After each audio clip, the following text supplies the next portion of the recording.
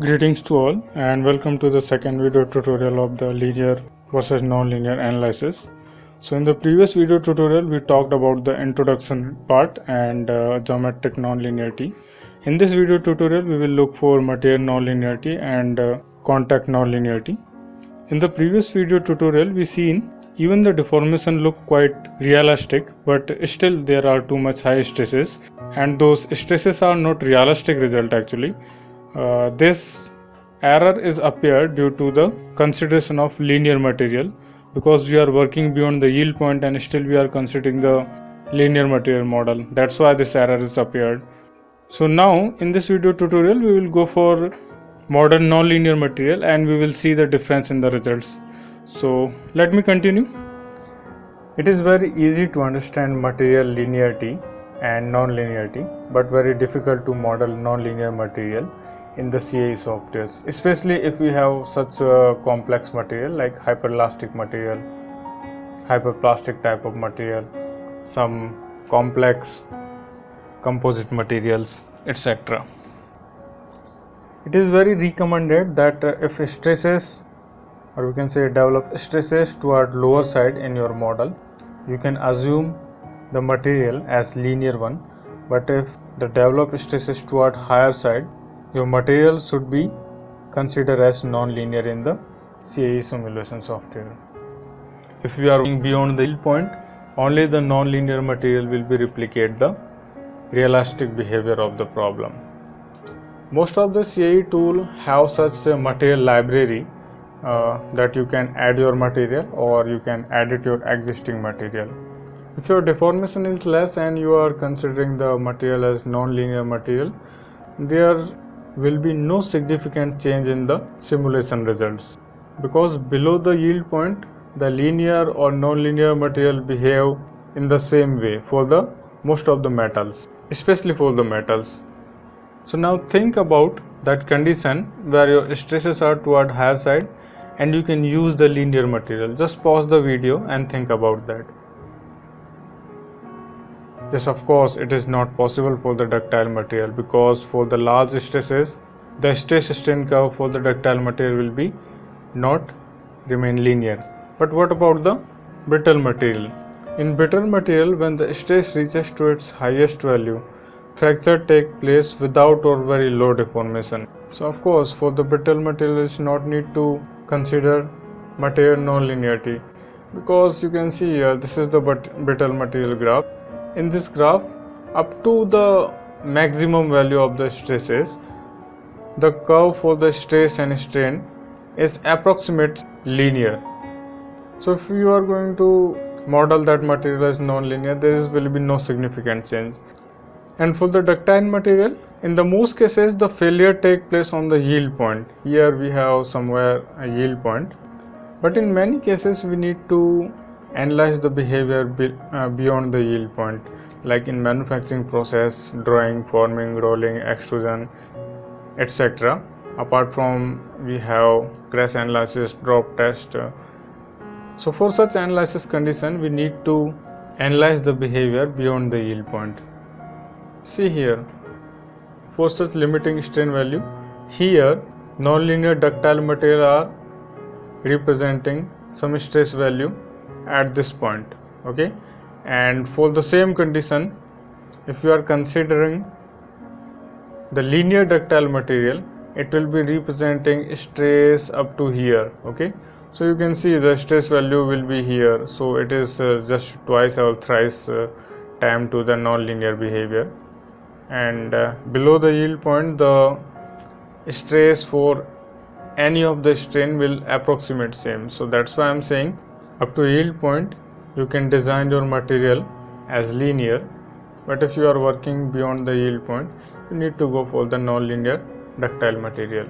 Okay one more important thing i want to discuss here. Uh, see if i talk about the failure it not always the yield point. It's depend on the situation and it not always the fracture point even. It's depend on the situation for example, if we have one component in the assembly and subject to the some load, even if there is any small deformation which block the assembly or we can say block the mechanism the whole system will be failed. Why? Because even the small deformation is just going to block the assembly or block the mechanism. That's very important. See here the failure condition we are getting even in the proportional limit. Okay. So failure it's not mean the fracture. The failure it's mean the requirement of the product is not fulfilled due to some causes. On other hand, if I, I talk about manufacturing simulation, we are working on the stresses beyond the yield point somewhere here or maybe here but below the fracture point okay? But still we are not considering those object as a failure. Why? Because it's the process requirement. If we are not working beyond the yield point the forming or the forging process will not take place. So it is very important to understand the failure. Failure it's mean functionality cannot be performed and fracture it's mean material get damaged. So here my material get damaged but even my assembly may fail here may fail here may fail here okay as i told you. So now take a example the same plate i simulated for the linear and non-linear material. This is for the linear material and this is for the non-linear material. Yeah there are geometric non-linear condition for the both cases. See the geometric non-linear but material is linear. And here material and geometric both are the non-linear condition. So what difference you can see here? Uh, there is little bit difference in the geometry. Let me show you in the abaqus okay see here. Uh, just go for some standard view.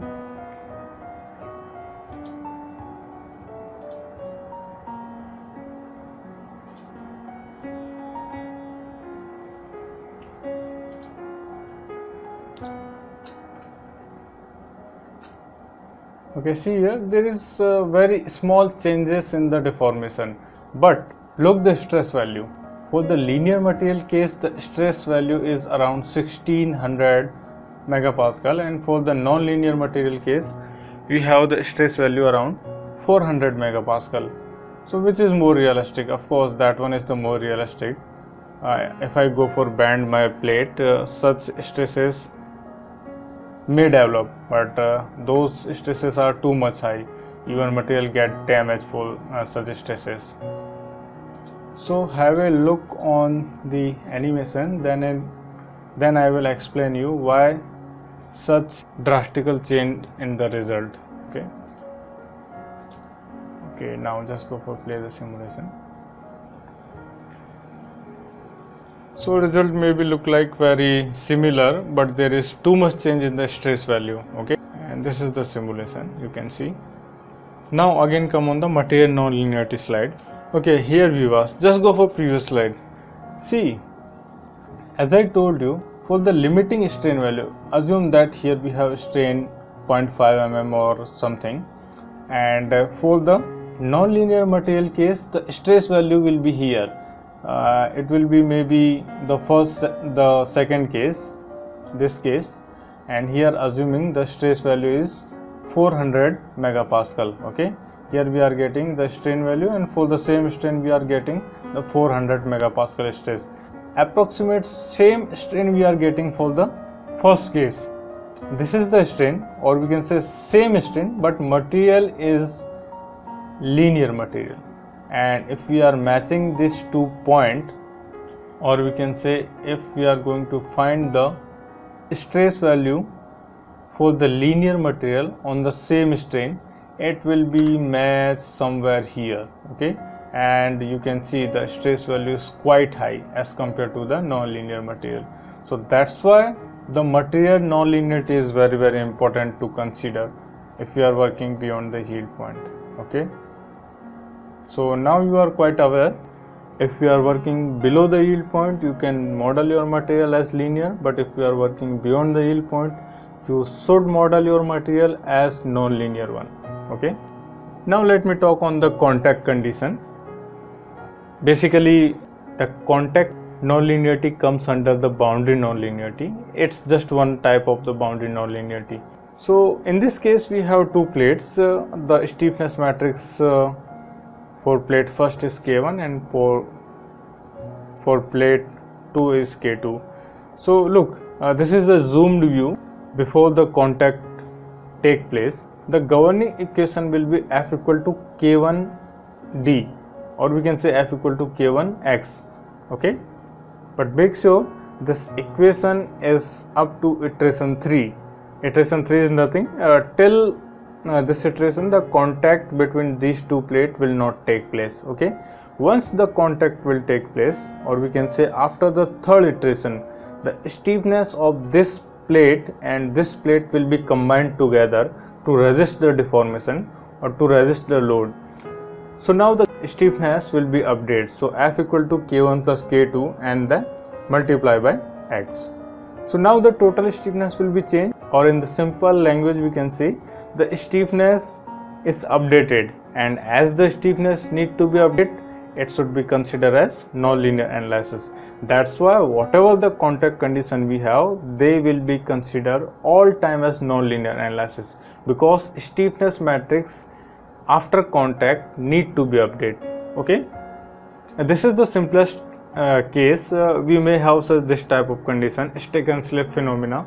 We have the variable contact condition where the contact is going to be off and off off and on if contact is on the stiffness matrix will be updated if again the contact is off or contact is removed again the stiffness matrix need to be updated so same stick slip phenomena.